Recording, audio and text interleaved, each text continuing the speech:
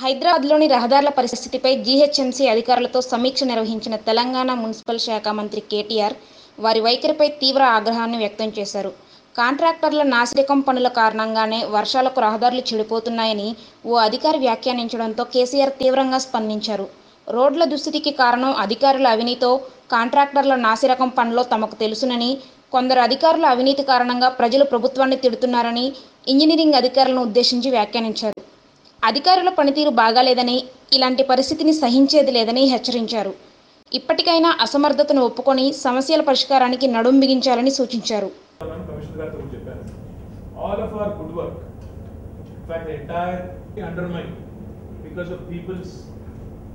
day to day perception ఎవరిని వ్యక్తిగతంగా నిందించడానికో ఎవరినైనా విమర్శించడానికో ఎక్కడ ఎవరిని మిమ్మల్ని విమర్శిస్తే నన్ను నేను విమర్శించుకున్నాం చాలాసేపు మాట్లాడుకున్నాము. అల్టిమేట్గా అవుట్కమ్ మాత్రం చూస్తే మాత్రం మరి ప్రజల దృష్టి ఆశించిన స్థాయిలో లేదు అనేది మాత్రం ప్రజలందరూ కూడా నిర్మోహమాటంగా చెప్తున్నమాట మనం కూడా డెఫినెట్గా కూడా ఇబ్బందికరమైన పరిస్థితి ఉంది. దీనిలో మనము సెంట్రల్ వారితో పాటు ఇంకా కొంతమంది బయటి నిపుణులు కూడా ఉన్నారు బయటికి. ఒక ఆరుగురితో కలిపి ఒక కమిటీ వేద్దాం ఒక ఆలోచన. ఎక్స్పర్ట్స్